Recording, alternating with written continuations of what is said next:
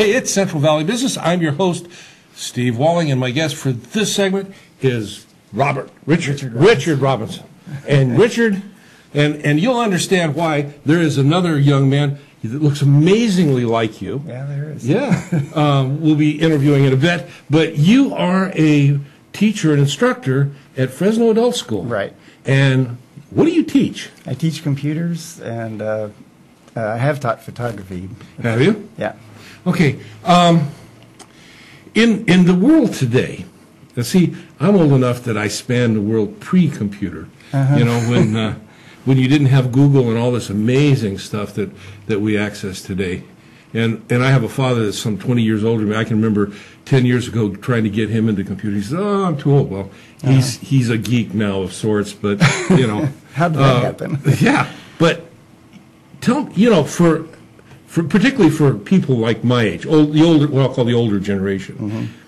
what you provide is an amazing tool because they don't need to. Tell me about your interaction with older people in, in computers. Well, I, I teach at Fresno Adult School, and I started with the in the older adult program. I've Uh-huh. been there been there for 17 years. Well, okay, so you got some time under your belt. Yeah, and uh, I kind of have specific things you would do for a class of that type that you wouldn't necessarily do for another. Do Uh, tell. Yeah, because, well, they come in, I, I have had students come in and say, like, they know they have to take this class, they know they should learn it, but they really don't want to. I don't want to have to learn how. Is there any reason why I have to have a computer? You know, what's this email stuff and all that sort Well, of stuff? I've actually had students tell me, I, I would go to my grave not knowing a computer and I'd be happy enough. There you go. So it's kind of a, that's, and that's the people coming to my class telling me this. But what happens after, after, is there a point where you see that transition in consciousness where they go from ah to Oh, aha? I had a, uh, I do have that uh, example of that. I have a lady, I have a teach at Fresno Adult School. cl- Uh, we actually are out of Manchester, Okay. And it's at the senior center in Manchester. Right. We're, we're above the Radio Shack. Uh-huh. And uh, I had a lady who was very uncomfortable with computers. She took my basic class. I have basic and intermediate. She took basic once and then decided to take it again and again. She actually took it four times in a row. Okay. And then felt comfortable enough to go to my intermediate class. And when she was in the intermediate class, she was actually helping the guy next to her. Well, cool. So I stopped her. I said, Do you see what you're doing? And she looked at me like she was in trouble. What? What did I do? I said, You're helping the guy next to you. You see how, how literate you've become with the computer. And she's, she's like, Oh my gosh, you're right. really? That's great. That's got to make you, uh, I mean, Yeah, that I- kind of stuff has got to like, good. yeah, it's because of me. Yeah, there you go. Felt like that. Uh, tell me about the, the Fresno Adult School itself. Okay, uh, we've been offering classes for older adults uh, since '98 is when I started. Okay. Uh, that program is no more, so now we go through what's called community ed, which where they have to pay to be in the class. But we offer discounts for anybody 55 and older. Well, I, I might almost qualify. okay, well, discounts for 55 and older. How do we, how does someone find out what type of classes, what's being offered there? I mean, what, is there a? we have a website. a website, okay. FAS.edu, so that's Fresno Adult School. The initials. FAS dot edu. Right. Okay. And then I'm in the community ed classes, community education, and Uh-huh. we have classes for computers that are offered at night, made for people who have to work. Work. My classes are offered during the day. Okay, okay. So my classes are Tuesday and Thursday. Uh, ba- basic class is nine to 11 Mhm. and the intermediate class is eleven thirty to one thirty. Um, And we start next week on the twelfth. and you start next, the next series of classes. Right. January 12th. Yeah, it is January. Nine to eleven for 9 basic. to 11 for basic. Eleven thirty to one 11:30 thirty. to 1:30 for the intermediate. Right. Okay, um, the type of students for like your, besides the, the senior adults, what, tell me about the students for your regular, uh, a basic class. I mean, it just, Well, it's it's mostly seniors, but actually I can take anybody who's a, a high school graduate. Mm-hmm. You don't have to be a senior, but seniors get the discount. okay. Let me ask you this. Um, in the younger range of adults, do you have a, a greater, um, what I'll call it, acceptability to the interaction with the computer and the, Oh, yeah. the individual? Yeah? Definitely, yeah, Yeah. because they kind of grew up with it. I think some of the students I've had that were younger, uh, I think we're only taking the class because they knew they should have in school but didn't. Uh-huh. Maybe they missed out, or maybe they just felt like their skills never got to the point where they wanted it to be, so they, they take my class. What about uh, businessmen that, uh, or women, businessmen or women that really don't have computer skills, but maybe their job requires that they, they have some Well, savvy for, there? for a while, I was teaching in Madera County, and I was actually teaching county uh, employees. Really? But they ended that program. Oh, So that's It lasted about two years, Yeah. and they, they didn't have the budget anymore, so. Oh, that's, that's a shame because they, they need, you can't really, in the business world, you can't Yeah. really get by.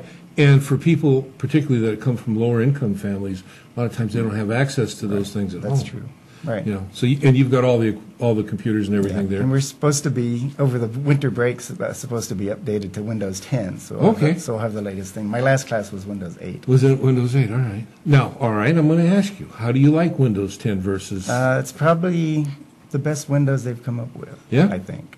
Yeah, I, I upgraded mine to Windows 10, and you know I'm hunting and picking around, but I, I seem to like yeah. it. You, Yeah. I may show up one of your classes just to. What about people that have some computer savvy that uh, you know, like me, Might might just go straight into the intermediate. go straight into the intermediate, and they can do that. They don't have to do the basic Right, class. right, they don't. Okay. Um, So it's uh, up to you which one you want, you think Right. you're qualified for. so okay. Again, the website is FAS. fas.edu. E And you would Okay. click on community education. Community ed- my- education. department. That's where your department will be. Yeah. Now, we also have classes that we just started in October 2014 on how to use your smartphone and tablet. Oh yeah, we were talking about the, you, you know, the smarter than me phones.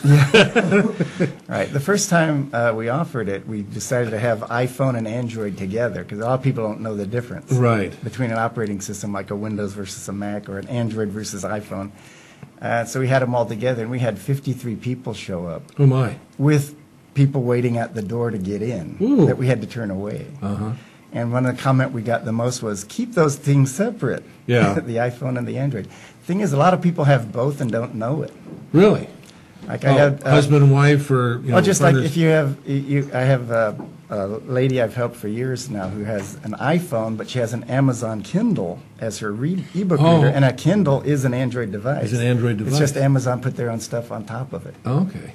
So you So- you have to have the understand the basis of the Android system and the, the iPhone. Yeah, so we, Yeah. we so we've separated those since then. That was the comment we got the most is keep those things separate. But a lot of people have both, and, I and they don't know the difference. I had a lady come to me with her her phone, and she says, "Can you show me how to do such and such on my iPhone?" And I look at her phone, and it says Samsung on it.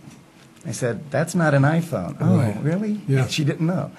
They get like iPhone is like Kleenex versus tissue. It's iPhone. It's Right. all smartphones, and it's not true. Um, your personal opinion. Which operating system do you like better? Um, they both have their good points, but I think I like Android better. Do you? The, the, the one good thing about iPhones is that because you can only get it from Apple, it's very standardized and it can work together better. Mm-hmm. Android is kind of all over the place because lots of different manufacturers can use it. You got Samsung is the main one, but they also have HTC and LG can use Yeah. Android, and that makes it confusing because then they add their own stuff on top of that.